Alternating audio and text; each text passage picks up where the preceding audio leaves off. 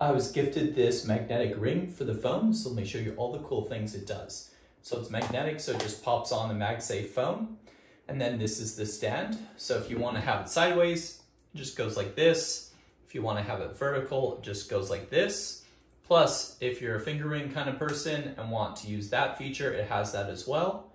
So it allows you just to carry around your phone. And then it's also magnetic. So if you're in the gym like I am right now, you want to use a timer or you want to use a video and do your gym workout, you just pop it onto something magnetic like that. And then you're able to do your workout. So I have my timer going. I'm able to do my sit-ups or I'm able to watch my workout video, whatever I prefer. And then it's just going. And at the end of the day, if I'm like, I don't really want this on right now, I just pop it off because it's magnetic. Works perfect on the phone. It's a really cool option and highly suggest you check it out.